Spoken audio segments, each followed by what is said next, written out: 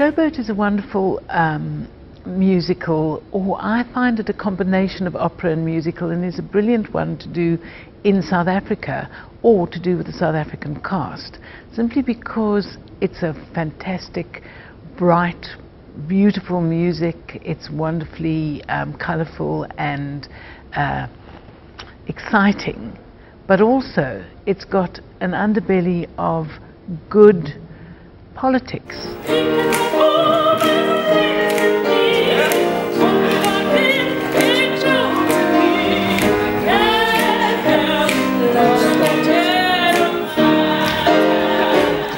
Assure you that you you, get tingles down your spine when songs like Old Man River and um, Queenie's Ballyhoo, it's great fun. Then, of course, there are wonderful costumes and wonderful sets. Johan Engels and Birrie le Roux have done an amazing job.